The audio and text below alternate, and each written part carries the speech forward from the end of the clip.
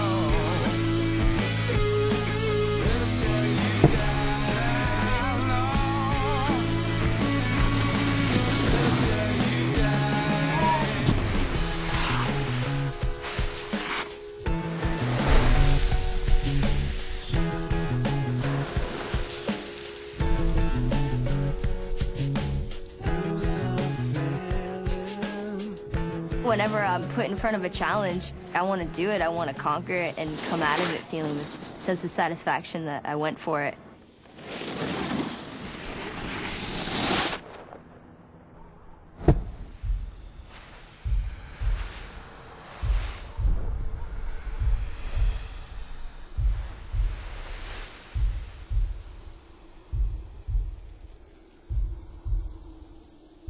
It was a really big jump that I think any other girl that was up here.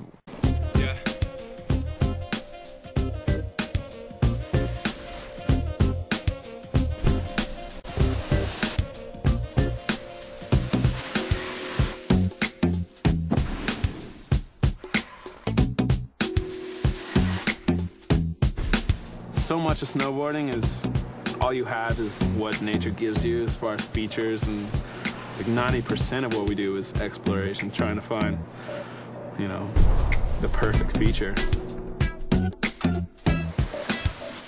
It seems like those are the lines that are really good.